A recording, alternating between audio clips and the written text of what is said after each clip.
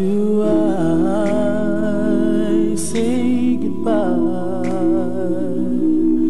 to what we had? The good time that made us laugh, outweigh the bad. I thought we get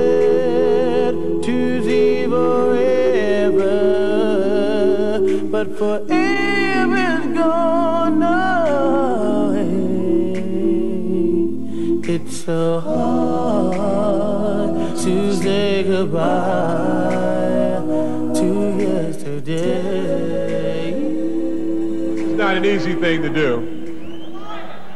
Coming back home, but to return and to be treated so uh, especially well touches me in a very, very special place in my heart. Place in which the Philadelphia fans and the Philadelphia sporting scene has touched me many different times in the past. While there is time, let's go out and feel everything. If you hold me, I will let you into my dreams. Time is a river rolling into nowhere. We must live while we can and we drink our cup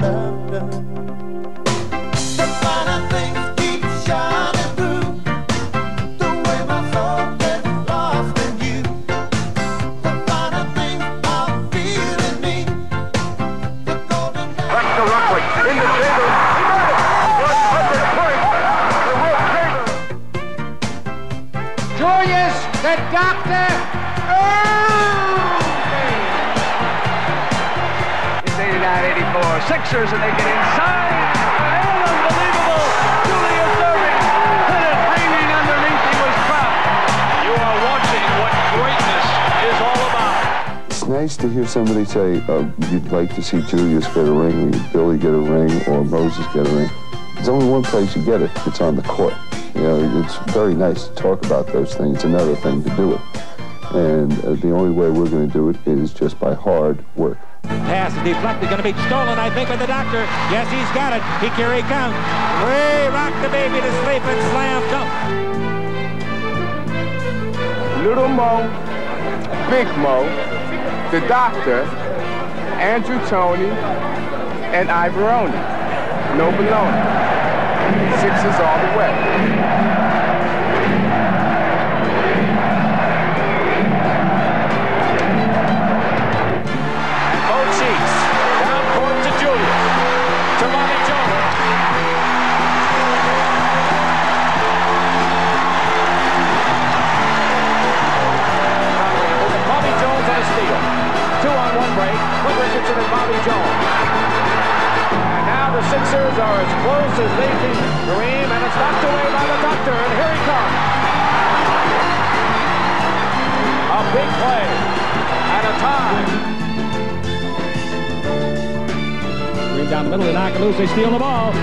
It. Cheeks on his way to the World Championship. The Moses slam dunk. And Billy's done it, finally. And look at the Sixer bench.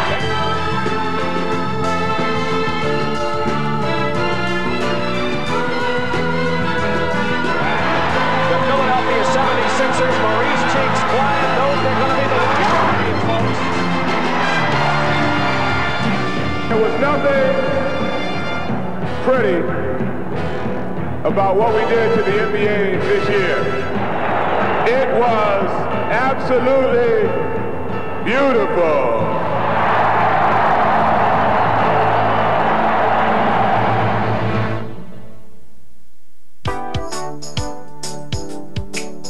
At the age of 24, the mantle of responsibility had fallen on him. Doc was gone, Moses was gone, Bobby Jones was gone, and, and it was uh, Charles Barkley's team. Barkley, one, two, three, triple focus.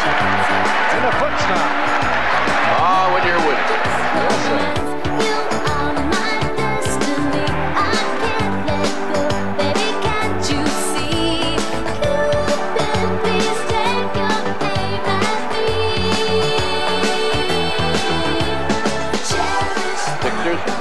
Set up for the final shot. AC Green and Charles Barkley. Charles with room. Griffin, score it, score it, and a foul.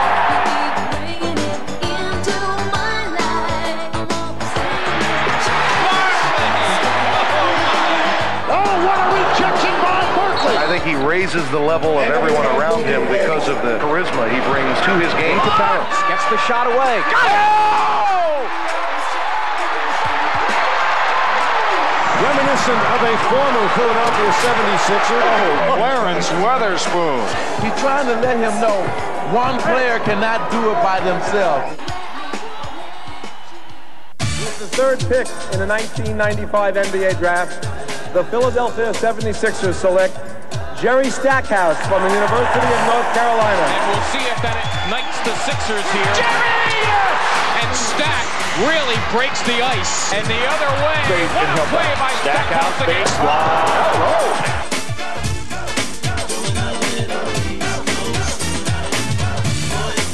Stackhouse, here it is! Wham! There you go. That gets the crowd yeah. on its feet.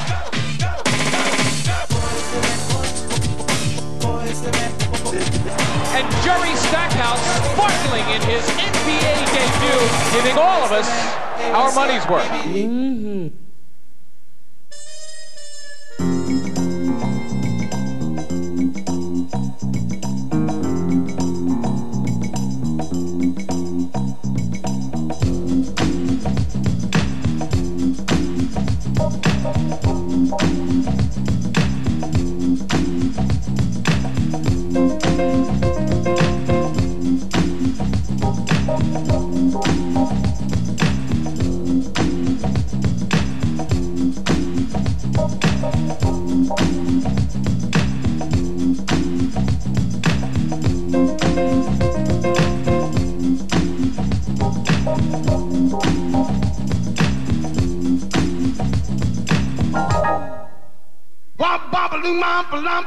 Life in 1950s America was much different than what we know today.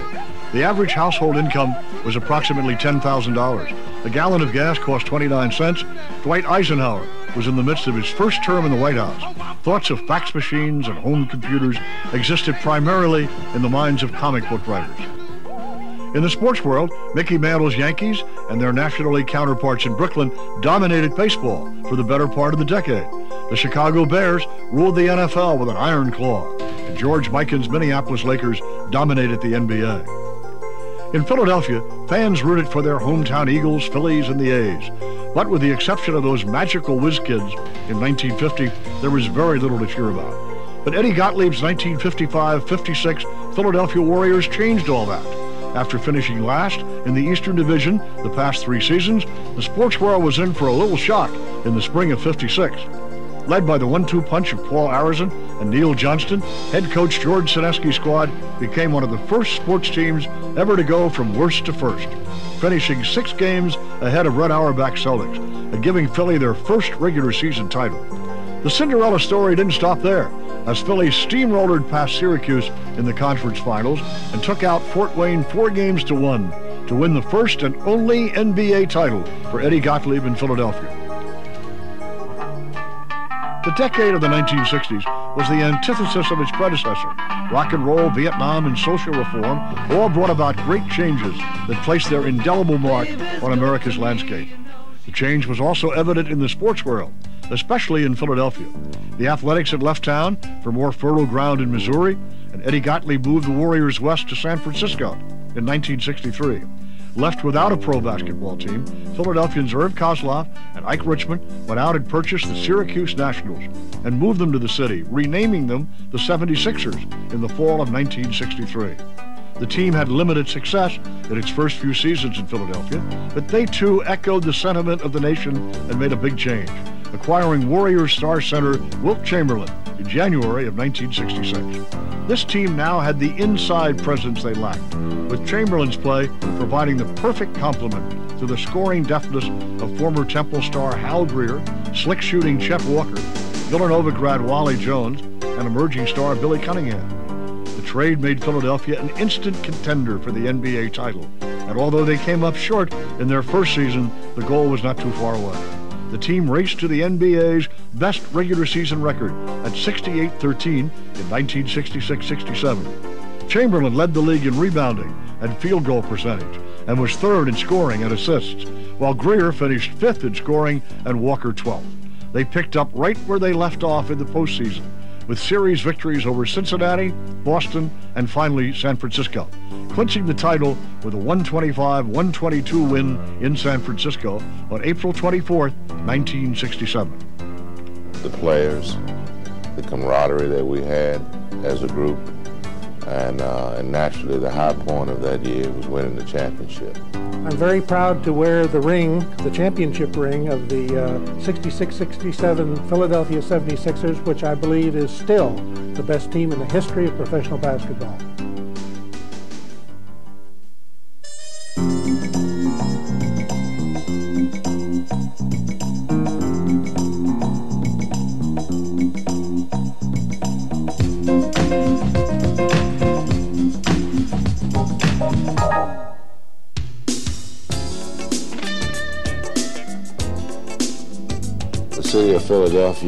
Greeted me as a rookie back in 1964 and 65 and has treated me really well for all these years. And I'd just like to say at this moment, thank you, Philadelphia, for all those years.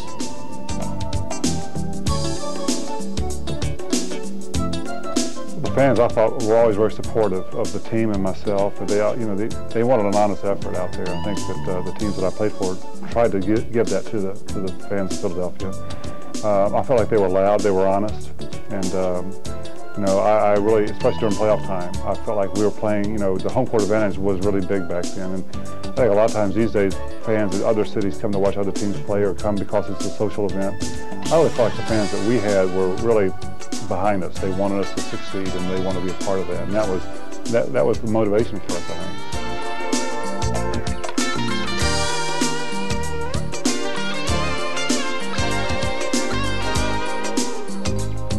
After I got the rebound off, off the shot, um, I never saw Doc at all.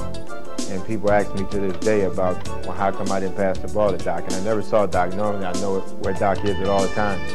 But I never saw him. So when I didn't see him, I continued to go to the basket. No one stopped me. So when I got to the basket, I rose up. I had no intention of dunking the ball at all. I just rose up and emotion just took over me and I dunked it. Um, I jumped up and down, I had my hands up in the air, and um, that was that was one feeling that I can relive over and over and over because it was a lot of frustrations before that of getting being up 3-1, losing, going to the finals a couple other times and, and losing, and then finally uh, eclipsing the victory and, and, and winning the, uh, the championship. That was just a feeling that I would never, ever forget, and, and it just etched in my mind forever.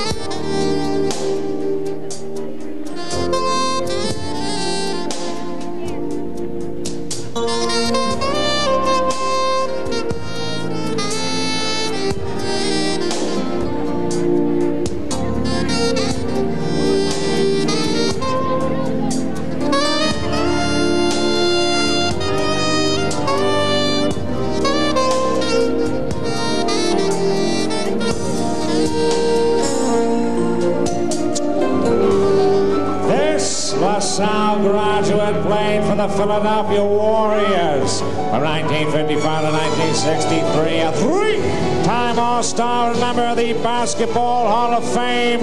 Six-seven guard from the South, Tom Gola. Gola goal. One of only two players to play for the Philadelphia Warriors since 76ers, including the 1966-67 championship team. A 6-1 guard from Niagara, Larry Costello.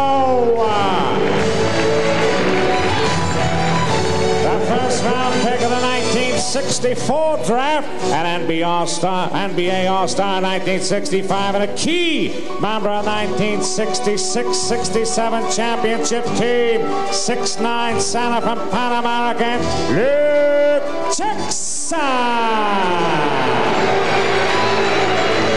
This all-time NBA the 76ers in the 70s. 6'3 guard from Guilford. World B.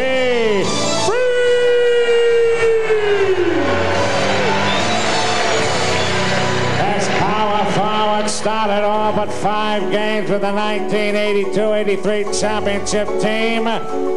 6'10 forward from Virginia, number eight, Marc Iavaroni.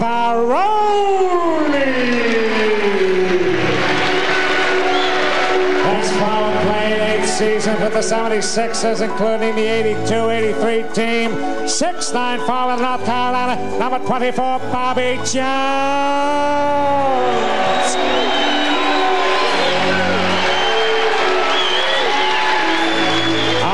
Over 6,000 assists, 10,000 points, and nearly 2,000 steals in 11 seasons with a 76ers. 6'1 guard from West Texas State, number 10, Corey Cheeks.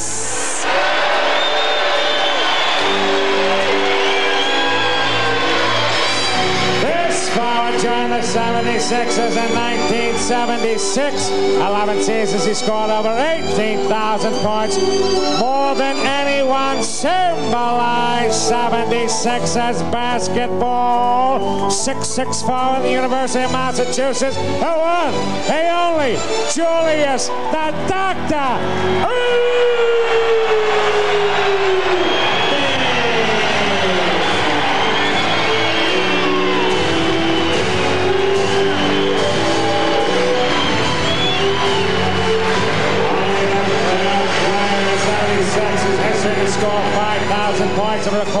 5,500 rebounds in its first four seasons.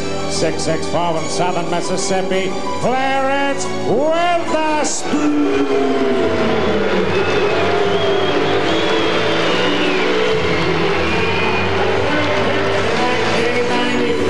NBA draft, scoring more points than any other 76 rookie. 6-6 forward North Carolina, Jerry Stout.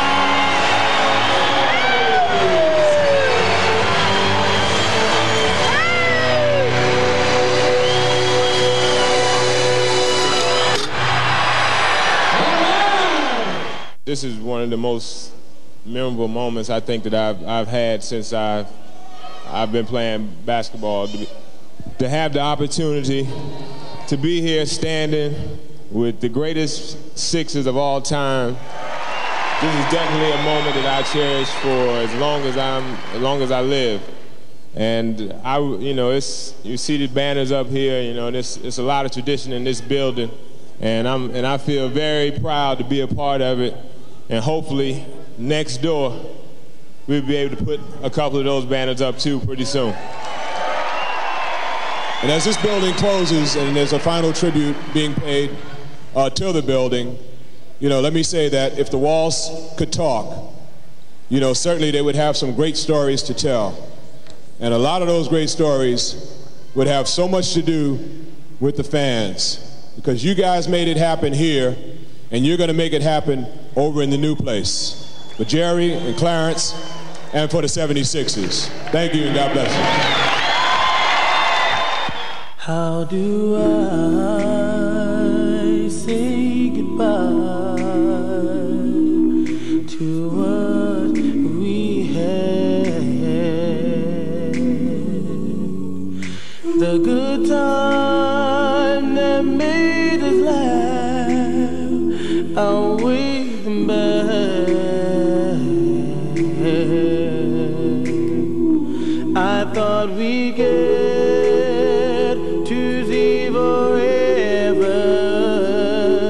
but forever even gone away.